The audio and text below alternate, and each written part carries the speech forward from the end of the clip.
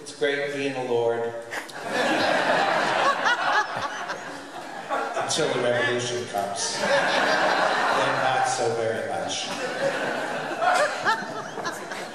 And the other thing is I want to say, uh, it's always great to see young, uh, exciting, enthusiastic young singers.